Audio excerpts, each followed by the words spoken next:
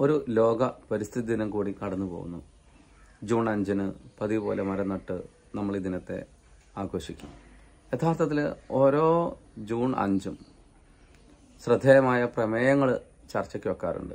രണ്ടായിരത്തി ഇരുപത്തിനാലിൽ നമ്മുടെ മുന്നിൽ വന്നിരിക്കുന്ന പ്രമേയം മരുവൽക്കരണത്തെയും വരൾച്ചയെയും പ്രതിരോധിച്ചുകൊണ്ട് ഭൂമിയുടെ പുനരുജ്ജീവനം എന്നുള്ളതാണ്. ലാൻഡ് റെസ്റ്റോറേഷൻ എന്ന് വേണമെങ്കിൽ പറയാം.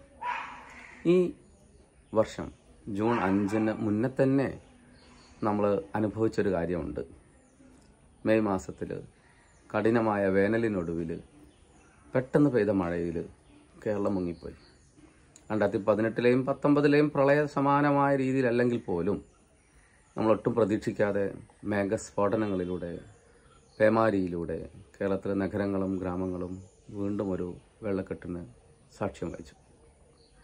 പഴയ കാലങ്ങളിൽ കുറേ നാൾ മഴ പെയ്താൽ മാത്രമേ നമ്മുടെ പുഴ കലങ്ങി മറിഞ്ഞ് മണ്ണിന്റെ നിറത്തിൽ ഒഴുകാറുള്ളൂ പക്ഷേ ഇപ്പോൾ ആദ്യ മഴയിൽ തന്നെ എല്ലാ തോടും പുഴയും മണ്ണിന്റെ നിറത്തിൽ ഒഴുകാൻ തുടങ്ങി. എന്താണ് അർത്ഥമാക്കുന്നത്? നമ്മൾ എന്താണ് മനസ്സിലാക്കേണ്ടത്? നമ്മുടെ മണ്ണിനെ സംരക്ഷിക്കുന്നതിൽ നമ്മൾ പരാജയപ്പെട്ടിരിക്കുന്നു. പതുക്കെ പതുക്കെ നമ്മുടെ ഭൂമി മരുവൽക്കരണത്തിന് വിധേയമായി കൊണ്ടിരിക്കുന്നു. ഡെസർട്ടൈസേഷൻ എന്നല്ല ഡെസർട്ടിഫിക്കേഷൻ എന്നാണ് ഇതിന് പറയുന്നത്. ഈ മണ്ണ് നല്ല വളക്കൂറുള്ള എന്ത് നട്ടാലും പച്ചപിടിക്കുന്ന നമ്മുടെ കേരളത്തിന്റെ മണ്ണ്.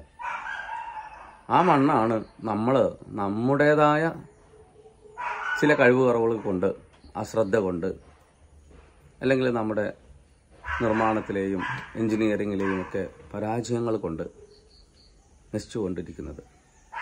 ഇതെങ്ങനെ പ്രതിരോധിച്ച് നിർത്താം എന്നാണ് ഈ വർഷം നമ്മൾ ചർച്ച ചെയ്യേണ്ടത്.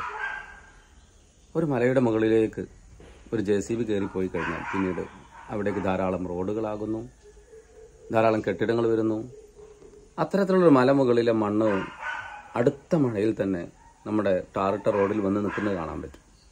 പിന്നീട് അത് അവിടുന്ന് ഒഴുകി ഒഴുകി താഴെ രൂക്ഷമായ വെള്ളക്കെട്ടിന് കാരണമായി തീരുന്നു. മഴയ പെയ്തു കഴിയുന്ന ആ മഴയെ എങ്ങനെയാണ് നമ്മുടെ ഭൂമിക്ക് ഉൾക്കൊള്ളാനാവുക?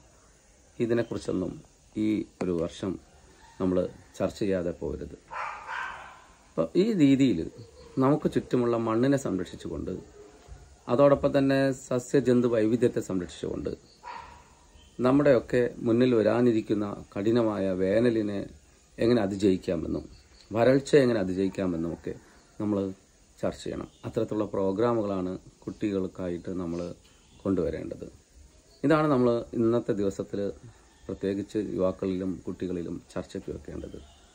നമുക്കറിയാം പശ്ചിമഘട്ടം ഇടനാട് തീരനാട്. ഇതാണ് കേരളം എന്ന് പറയുന്നത്. ഇതെല്ലാം ഓരോ അർത്ഥത്തിലും പാരിസ്ഥിതിക പ്രാധാന്യമുള്ള ഇടങ്ങളാണ്. പശ്ചിമഘട്ടത്തിന്റെ നെറുകയിൽ അനേകം പുൽമേടുകളിൽ നിന്ന് ഒഴുകി വരുന്ന ചോലകളാണ് പിന്നീട് നമ്മുടെ പുഴകളായിത്തീരുന്നത്. അതിലേക്ക് ഇടനാടൻ കുന്നുകളുടെ ചോലകളും വലിയ പങ്ക് വഹിക്കുന്നുണ്ട്. ഇതെല്ലാം ഒഴുകി വരുന്ന കടൽ തീരമാണ് നമ്മുടേത്. അതാണ് നമ്മുടെ മത്സ്യസമ്പത്ത് ഇത്രയേറെ കൂടാൻ കാരണം. ഇത്ര പുഴകൾ വന്നു ചേരുന്നതുകൊണ്ട് ഈ വൈവിധ്യങ്ങളെല്ലാം നമ്മുടെ കടൽ വരെ വന്ന് നിൽക്കുന്നുണ്ട്. ഈ ഒരു ആവാസ വ്യവസ്ഥയെ എങ്ങനെയാണ് വെള്ളക്കെട്ടിൽ നിന്ന് അതോടൊപ്പം തന്നെ വെള്ളപ്പൊക്കത്തിൽ നിന്ന് മണ്ണൊലിപ്പിൽ നിന്ന് തടഞ്ഞു നിർത്തേണ്ടതെന്ന് സജീവമായി നമ്മൾ ചർച്ച ചെയ്യുക. അത്തരത്തിലുള്ള ആക്ഷൻ പ്ലാനുകൾ നമ്മൾ വരും വർഷങ്ങളിലേക്ക് തയ്യാറാക്കുക. ഇത്തരം ചർച്ചകൾ കുട്ടികൾക്കടുത്ത് കൊണ്ടുവരിക തങ്ങളുടെ തൊടിയിൽ നിന്ന് പറമ്പിൽ നിന്ന് വീട്ടിൽ നിന്ന് എങ്ങനെ മണ്ണൊലിപ്പ് തടയാം? എങ്ങനെ അതിന്റെ ജൈവവിധ്യത്വം നിലനിർത്താം? എങ്ങനെ നമ്മുടെ റോഡുകളെയൊക്കെ നിർമ്മിക്കാം? എഞ്ചിനീയറിംഗ് വിങ്ങിൽ വലിയ ചർച്ച ചെയ്യേണ്ട കാര്യമാണത്. വെള്ളക്കെട്ടുകളില്ലാതെ. അതോടൊപ്പം തന്നെ മറ്റുള്ളവർക്ക് തടസ്സമില്ലാതെ എങ്ങനെ വലിയ റോഡുകൾ പണിയാം. ഈ രീതിയിലുള്ള ഒരുപാട് മേഖലകളിൽ അപ്പോൾ ഒരു പരിസ്ഥിതി പ്രവർത്തകരുടെ മാത്രം ചുമതലയല്ല അല്ലെങ്കിൽ അവരുടെ മേലെ മാത്രം ചർച്ച അവർക്ക് മാത്രം ചർച്ചയ്ക്ക് വിട്ടുകൊടുക്കേണ്ട ഒന്നല്ല രാഷ്ട്രീയ നേതാ നേതാക്കളും അതോടൊപ്പം തന്നെ നമ്മുടെ ഉദ്യോഗസ്ഥരും മറ്റ് മേഖലകളിൽ റവന്യൂ മേഖലകളൊക്കെ ജോലി ചെയ്യുന്നവരും സാധാരണക്കാരായ മനുഷ്യരും കർഷകരും വിദ്യാർത്ഥികളും അധ്യാപകരും എല്ലാവരും ചേർന്ന് ഈ വിഷയത്തിന് ഒരു പരിഹാരം ഉണ്ടാക്കുന്ന രീതിയിലേക്ക് വേണം നമുക്ക് ഈ ചർച്ചയെ കൊണ്ടുപോകാൻ. എല്ലാവർക്കും ലോക പരിസ്ഥിതി ദിന ആശംസകൾ.